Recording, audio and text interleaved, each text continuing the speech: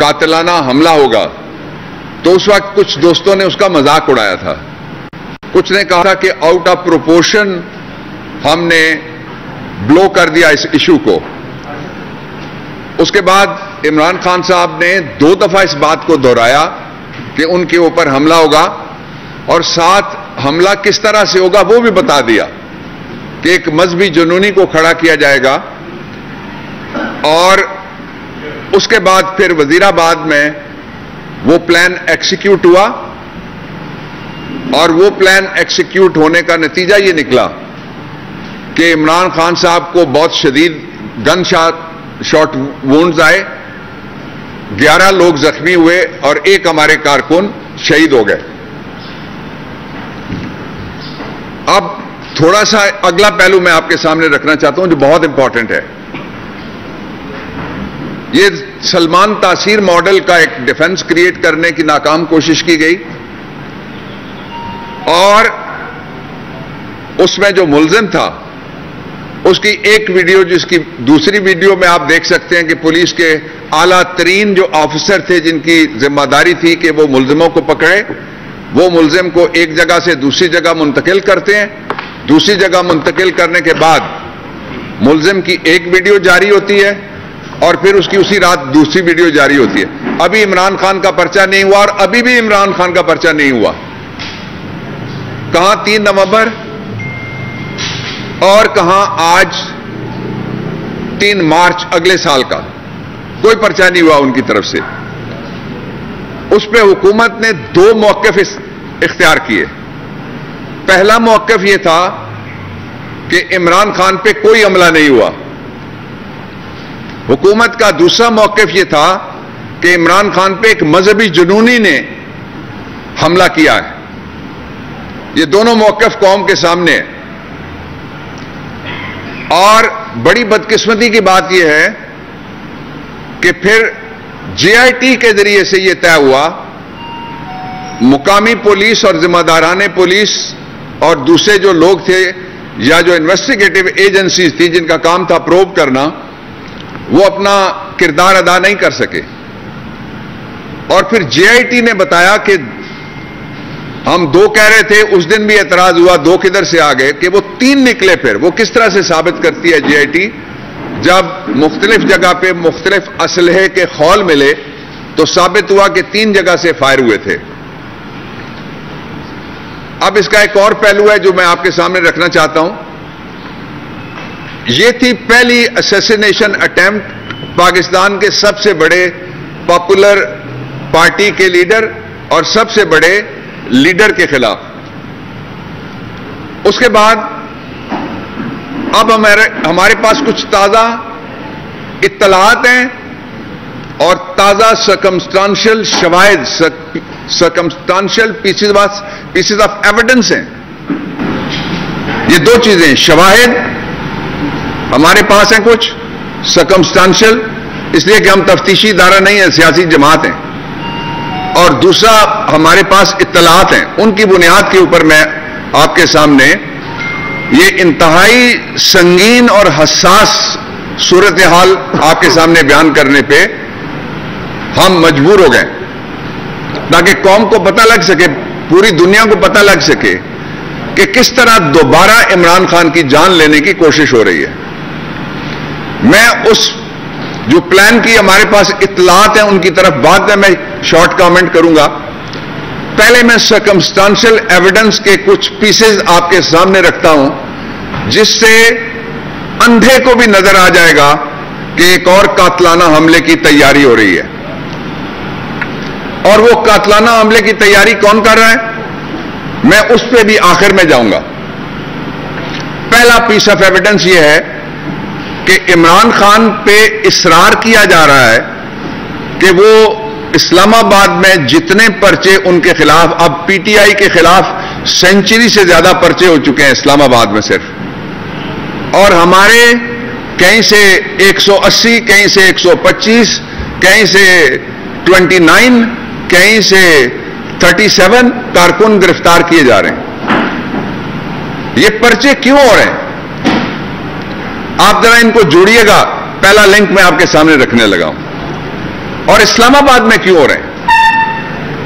ये बड़ी बदकिस्मती की बात है कि इस्लामाबाद के जो वकील हैं, वो जो इस्लामाबाद की कचहरी है, उसको कहते हैं डेथ ट्रैप कि ये मौत का फंदा है। वैसे नहीं वो कहते। सेशन जज सीनियर वकील लेडी लॉयर लिटिगेंट अमले के लोग इस्लामाबाद कचहरी में एक दफ़ा कत्ल नहीं हुए, दो दफ़ा कत्ल हुए। क्या कोई मुझे बता सकता है यहाँ का जिम्मेदार कि उनके मुलजम कहाँ गए? क्या कोई बता सकता है उनका ट्रायल कहाँ हुआ? क्या कोई बता सकता है उनको इंसाफ क्यों नहीं मिला? क्या कोई यह बता सकता है कि इस कचहरी को उसके बाद महफूज क्यों नहीं बनाया गया? सारी कोशिश, ये जो पर्चे हैं, ये पहला सकमस्टांशियल पीस ऑफ़ एविडेंस है हमारे पास। ये इस्लामाबाद में करने का मकसद यह है कि इमरान खान को इस्लामाबाद के कचहरी में घेर गार के लाया जाए और फिर वहाँ पे स्नाइपर या किसी कार बॉम्ब के ज़रिए या किसी खुदकश के ज़रिए उनकी जान ले ली जाए। मैं यहाँ रुक जाता हूँ। इसको कोई सियासी गुफ्तगु ना कह दे। इसलिए यह हमारी इतला नहीं है, मैं ये क्लैरिफिकेशन कर देता हूँ। पहली एसोसिनेशन अटैम्प्ट के बाद पाकिस्तान की वजारत दाखिला के इंचार्ज ने कहा है कि उनके पास इतला है कि एक गैर मुल्की एजेंसी किसी कचहरी की पेशी के दौरान इमरान खान को कत्ल करना चाहती है। यह रिकॉर्ड पे है। यह हम नहीं कह रहे। ये गवर्नमेंट कह रही है। मैं आपको उसकी शहादतें, जो सरकमस्टांशियल वाकयाती शहादतें वो मैं आपके सामने बयान कर रहा हूँ, तरतीब के साथ। पहली शहादत मैंने आपके सामने रख दी। दूसरी शहादत यह है कि इमरान खान को सिक्योरिटी के एतबार से सारा तनहा कर दिया गया है।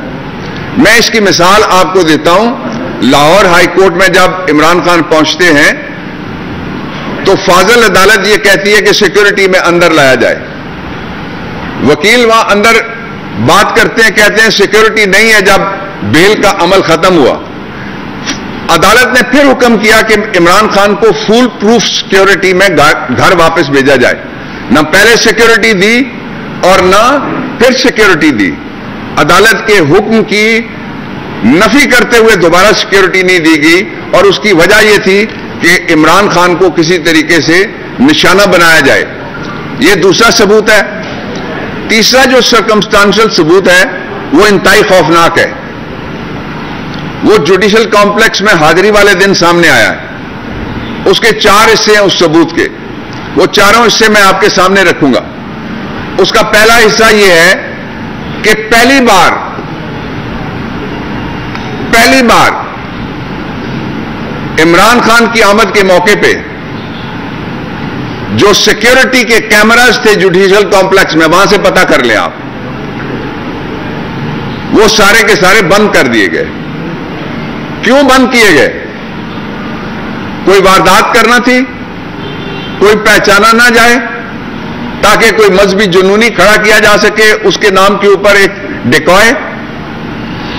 इमरान खान से ज़्यादा किसने आलम इस्लाम में और आलम इंसानियत में, अकवाम मुतहदा में और मगरबी दुनिया में रसूलुल्लाह सल्लल्लाहु अलैहि वसल्लम पे हमारी हज़ार जाने कुर्बान आपके लिए मुकदमा लड़ा? किसने इस्लामोफोबिया का मुकदमा इमरान खान से ज़्यादा लड़ा? तो इसलिए यह सबूत नंबर वन है। ये जुडिशल कॉम्प्लेक्स के अंदर के मैं सबूतों की बात कर रहा हूँ। हुकूमत जवाब दे कि वो कौन था जिसने सिक्योरिटी के सीसी टीवी कैमरास को बंद किया। दूसरा आप ये कंफर्म कर लें, वहाँ रजिस्ट्रार है, दूसरा हमला है। फाजल अदालतें बैठती हैं। एटीसी के कोर्ट के अंदर की सिक्योरिटी आप लोग कवरेज जो करते हैं, उनको मेरी बात ज़्यादा समझ आ रही होगी, और कुछ चेहरे मुझे नज़र आ रहे हैं वहाँ। वो अंदर की सिक्योरिटी उस दिन टोटल गायब थी। वहाँ आठ से बारह के करीब, पंद्रह के करीब लोग बैठे होते हैं, जो इंसदाद दहशतगर्दी की अदालत है। वहाँ ऑफिशियल सीक्रेट्स एक्ट के मुकदमे दो दिन चलते हैं। और जो सात दिन हैं, उनमें से पाँच दिन और वो इंसदाद दहशतगर्दी के मुकदमे, जिसमें बड़े बड़े मुकदमे हैं, वो सुने जाते हैं, इसलिए वहाँ सिक्योरिटी वाले बैठते हैं। वो कौन था जिसने सिक्योरिटी वाले उस दिन वहाँ से हटा दिए? ये जुडिशियल कॉम्प्लेक्स के अंदर से दूसरा सर्कमस्टांशियल पीस ऑफ़ एविडेंस कौन था? इसका हुकूमत जवाब दे। तीसरा सर्कमस्टांशियल पीस ऑफ़ एविडेंस उस अदालत के अलावा जो जुडिशियल कॉम्प्लेक्स की अंदर सिक्योरिटी थी, वो सिक्योरिटी का एक एहलकार भी वहाँ उस वक्त मौजूद नहीं था। वो एहलकार किसने वहाँ से हटाए? वो कौन था हुकूमत जवाब दे जिसने वो एहलकार हटाए? हैं क्योंकि हुकूमत कहती है, उनको पता है कि कोई गैर मुल्की गैर मुल्की भी पता है कि एजेंसी है। वो मारना चाहती है इमरान खान को। क्यों मारना चाहती है ये नहीं बताया। और कहते हैं कि मारा जाएगा कहाँ? खुदा ना करे, कहने वालों के मुँह में खाक, लेकिन दोहराना पड़ रहा है मजबूरन। वो कहते हैं मारा जाएगा तारीख पेशी के ऊपर। अब जो उसके अंदर का चौथा सबूत है, वो मैं आपके सामने रखना चाहता हूँ। क्या क्या इलेक्ट्रॉनिक्स वहाँ पे बंद थे? सुबह से जब अदालतें आके बैठी हैं, ये भी आप जाके पता कर लें। जब कोई आएगा तो जैमर लगेंगे, ये तो समझ में आने वाली बात है। अदरवाइज़ वहाँ उस कोर्ट और प्रेमिसेस में जैमर्स नहीं होते। बाहर से जो गाड़ी आती है, उसका, उसके साथ जैमर्स की गाड़ियाँ दौड़ती हैं या उसके ऊपर इंस्ट्रूमेंट लगा होता है। और जो इसमें आखिरी बात सकमस्टांशियल एविडेंस जो मैं आपको फिफ्थ है गालिबन मैं रखना चाहता हूँ आपके सामने, वो ये थी कि आप जाके ये पता कर लें कि लोग बाहर से ज़ोर लगा रहे थे। लेकिन उससे पहले ही जो अंदर से कुंडा किसने खोला? ये चीज़ें सामने आएँगी। तेरह तारीख को याद रखिएगा, सोलह तारीख को भी याद रखिएगा, चौदह तारीख को भी याद रखिएगा, वहाँ जो दरखास्त जमानते हैं, वो उनकी समात होनी है। उसमें वीडियोस जज साहिबान अपने नुकता नज़र से जज साहब जो सुनेंगे, वो यकीनन देखेंगे और हम अपने नुकता नज़र से वीडियोस पेश करेंगे वहाँ पे। अब मैं वापस चलता हूँ जुडिशियल कॉम्प्लेक्स से, आपको लेके चलता हूँ मैं। फिर अगला सबूत जो है सकमस्टांशियल एविडेंस है, उसके ऊपर वो क्या है? वो ये है कि अहमद न्याजी इंचार्ज हैं इमरान खान की सिक्योरिटी के। और उनके साथ कुछ दूसरे ऑफिशियल्स और हमारे वॉलेंटियर लड़के हैं। जान पे वो खेल के आपने देखा किस तरह से वो यहाँ बारिश में गिरते हैं और उठ के फिर दौड़ के गाड़ी की तरफ़, अस्पताल की तरफ़ नहीं दौड़ते। वो हमारे जानसार हैं। उन सब पे पर्चे क्यों किए जा रहे हैं? ताकि इमरान खान को पर्सनल सिक्योरिटी से भी महरूम कर दिया जाए। सिक्योरिटी के एतबार से दे वॉन्ट एम कि वो अकेले हो जाए और उनकी गाड़ी नंगी हो जाए, कोई सिक्योरिटी वहाँ उनके साथ ना हो। ये जवाब दे हुकूमत कि वो कौन है जिसके कहने पे? उनको ये इतला मिलने के बावजूद भी वो इमरान खान की जाति सिक्योरिटी के ऊपर भी पर्चे कर रहे हैं, ताकि उनको उस सिक्योरिटी से भी महरूम कर दिया जाए।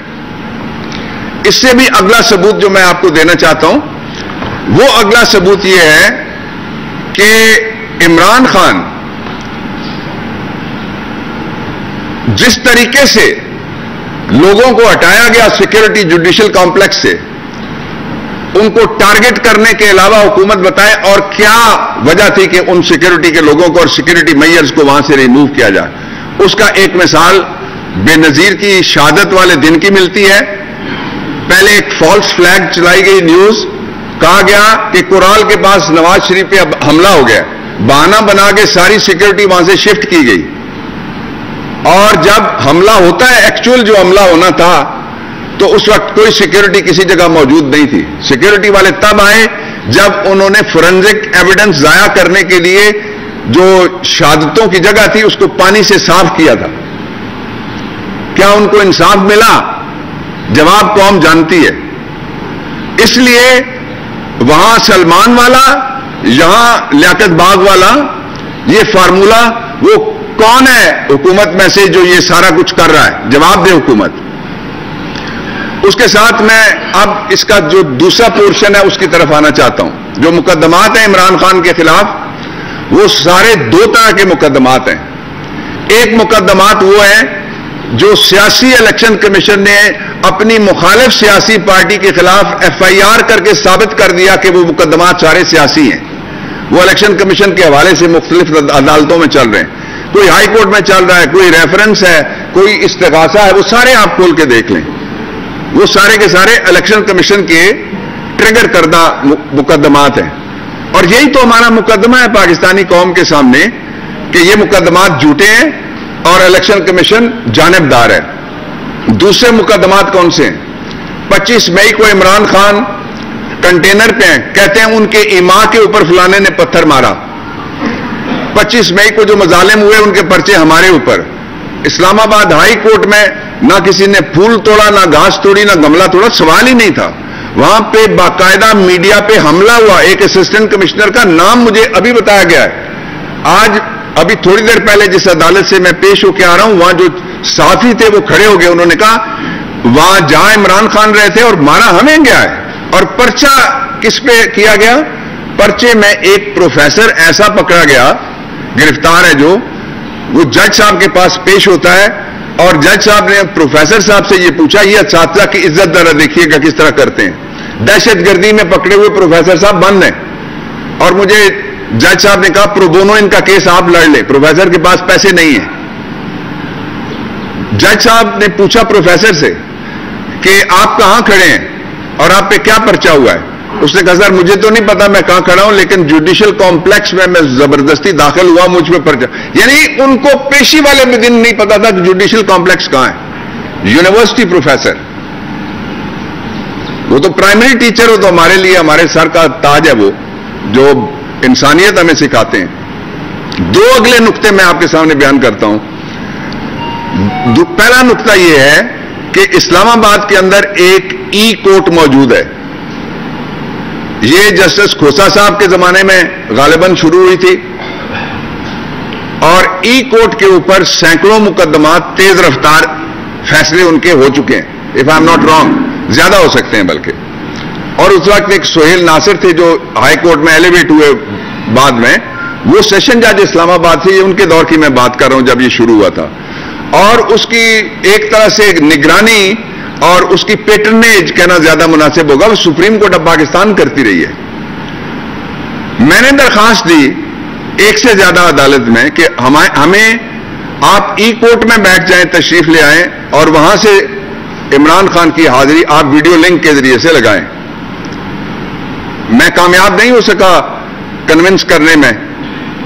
तो मैं ये अदलिया से दस्त बस्ता गुजारिश करना चाहता हूँ as senior ASC of the supreme court as jurist as former law minister as citizen of Pakistan और जो आपका सितारा है कौटा वहाँ का मैं रहने वाला हूँ। एक ग्लोबल सितारा है आपका, वो तहसील। मैं आपसे दरखास्त ये करता हूँ कि आप हमें कुछ, कोई फेवर ना दे, कोई भी ना फेवर दे। हम फेवर मांगते भी नहीं है। रूल ऑफ़ लॉ के लिए लड़ने वाले फेवर क्यों मांगेंगे किसी से? हम तो लॉ मांगेंगे। लॉ में कहते हैं प्रिंसिपल पैरिटी जिसको कहते हैं। आर्टिकल चार है, आर्टिकल पच्चीस है, वो कहता है, सबसे यकसा सलूक करो।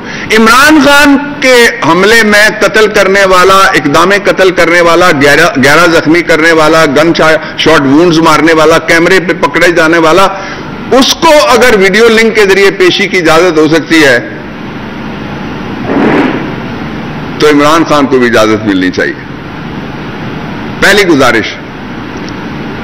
दूसरी गुजारिश यह है कि ये बाकायदा रिमार्क्स आए थे। और शायद उस तनाजुर में जब नवाज़ शरीफ की हज़ार दास्तान चल रही थी, उनके ऊपर जाते और नीचे आते हुए प्लेटलेट्स की तो एक से ज़्यादा जगह से ये रिमार्क्स आए थे, जो शायद दुरुस्त थे उस वक्त, जो तासुर दिया गया था कि वो मर जाएँगे, कि हुकूमत लिख के दे कि अगर नवाज़ शरीफ को कुछ हुआ तो कौन जिम्मेदार होगा? हुकूमत जिम्मेदार होगी। मैं मुतालबा करता हूँ, शहबाज शरीफ मेरे पहले मुकदमे का जो बड़ा मुलजिम है, जो पहला मुकदमा है हमारा, जिसकी एफ़ आई आर अभी होनी है वजीराबाद में, वो ज़रूर होनी है इंशाला अज़ीज़। और उनको तरीका पता है, वो सब्जाजार से बरी हो सकते हैं, उनको तरीका पता है, वो मॉडल टाउन वन से बरी हो सकते हैं। वो तरीका जानते हैं, वो मॉडल टाउन टू से निकल सकते हैं। वो तरीका जानते हैं, वो एफ़ आई आर रोक सकते हैं वजीराबाद की। लेकिन मैं मुतालबा करता हूँ कि हमें भी तो कोई लिख के दे कि अगर इमरान खान को कुछ हो गया तो फिर जिम्मेदार वो होगा। हम हुक्मरानों से ये मुतालबा कर रहे हैं। तीसरी और आखिरी बात मैं ये आपके सामने रखना चाहता हूँ कि जो मुकदमात हैं सारे के सारे, वो मुकदमात किसी भी अदालत में इस काबिल है कि उनको डिस्चार्ज कर दिया जाए। और उसका सबब यह है कि मुकदमात में लफ्ज इस्तेमाल हुआ है कि ईमा की बुनियाद पे इमरान खान शरीक, ईमा की बुनियाद पे असद उमर शरीक, ईमा की बुनियाद पे अली अवान शरीक, ईमा की बुनियाद पे बाकी सारी हमारी क्यादत, वो शरीक। तो ये जो ईमा वाले मुकदमे हैं, ईमा की एविडेंस अगर ना हो तो इसमें तो दहशतगर्दी में तो लिखा हुआ है, जो झूठा पर्चा करेगा, उसको अदालत कैद करेगी तीन साल। तो आखिर में मैं आपसे ये अर्ज़ करना चाहता हूँ कि ये इंतहाई मैं अदलिया से ये अर्ज़ करना चाहता हूँ कि सर, ये इंतहाई सेंसिटिव मामला है। अगर कुछ हो गया, या तो मेरा बड़ा मुलजम मुझे लिख के दे दे शहबाज शरीफ कि वो जिम्मेदार होंगे, हुकूमत जिम्मेदार होगी। अगर कुछ हो गया तो उसके बाद पछताने के अलावा क्या किया जा सकता है? और पाकिस्तान को जिसको पहले इन्होंने खाई में धकेल दिया है मुआशी तौर पर उसमें इतना बड़ा क्यास होगा, उसके बाद तस्वुर भी नहीं किया जा सकते। अल्लाह ताला इमरान को उसकी दुआ करने वाले सारी दुनिया में मौजूद है और सबको अल्लाह ताला सेहत सलामती दे। तो मैं ये दरखास्त करना चाहता हूँ कि इमरान खान को ज़रूर रूल ऑफ़ लॉ के मुताबिक उसके साथ मुसावी सलूक किया जाए, लेकिन उसको वीडियो लिंक के ज़रिए से पेश होने की इजाज़त दे दी जाए। ये वायद आदमी है, जो मेरे साथ 2018 में इलेक्शन कमीशन में जाके पेश हुआ, जो मेरे साथ 2020 में पेशावर हाईकोर्ट में जाके पेश हुआ, जो वजीराबाद के अलावा भी लाहौर हाईकोर्ट में जाके पेश हुआ। ये वो वाइड पाकिस्तान का लीडर है, जो फाजिल सिविल जज के पास पेश हुआ, फाजिल एडिशनल सेशन जज के पास पेश हुआ, फाजिल सेशन जज के पास पेश हुआ, फाजिल बैंकिंग जज के पास पेश हुआ, फाजिल इंसदाद दहशत गर्दी के जज। तो कौन सा रह गया ऐसा इंसाफ का दर और सुप्रीम कोर्ट ऑफ़ पाकिस्तान में? खुद। सबसे बड़ी जो इस्लामाबाद के शहरियों के लिए काम किया गया था, उसमें मैं उनका वकील था। ये 2017 के अंदर हम पिटीशन लेके गए थे, जिसके ज़रिए से हमने बोटेनिकल गार्डन इमरान खान ने बचाया। वो खुद कहने लगे, मैं इस केस के लिए बाबर खुद चलता हूँ साथ, और वो खुद जाके वहाँ पे खड़े हुए। जो रूल ऑफ़ लॉ का चलता फिरता एक ताबेदार मौजूद है, वो किसी गवर्नर पंजाब या गवर्नर केपी की तरह ये नहीं कहता कि मुझे नहीं पकड़ा जा सकता अगर मैंने आइन तोड़ दिया और मैंने कहा नवे दिन में इलेक्शन नहीं होंगे। तो ये वो हालात थे जिन पे हमने आपको इतमाद में लिया। If there is any question I am here